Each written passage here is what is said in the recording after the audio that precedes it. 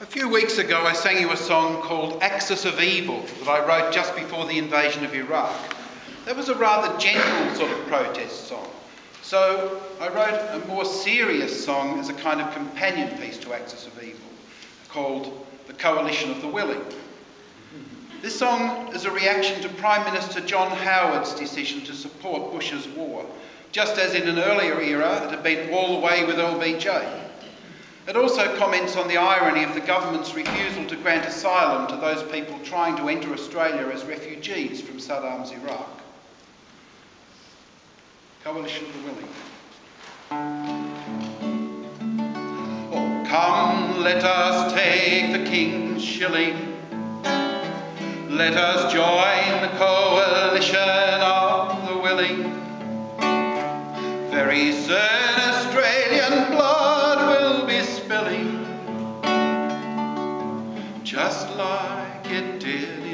Vietnam. Let us send our young men out to Iraq, ship them to the desert for a lark, marching onwards into the dark. Send them out to fight for Uncle Sam. Send them out from Melbourne and from Perth who can measure what an Aussie life is worth. Let's help the USA to save the earth. Let's be a part of little Johnny's plan. Some bleeding hearts are even asking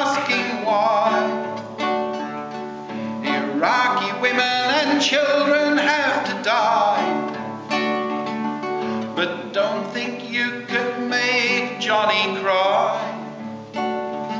You people all voted for Saddam. So don't try to seek asylum in Australia.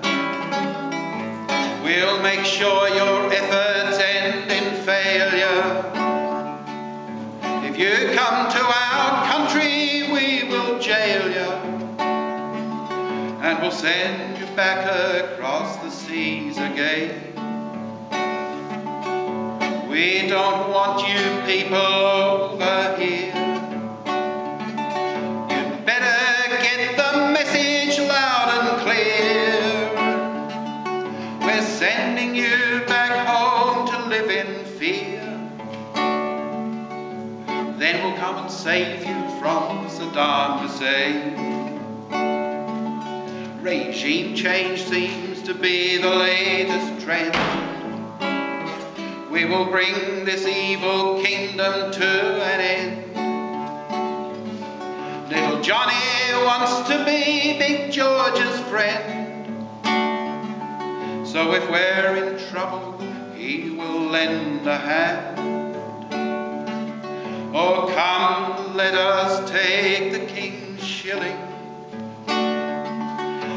Join the coalition of the willing.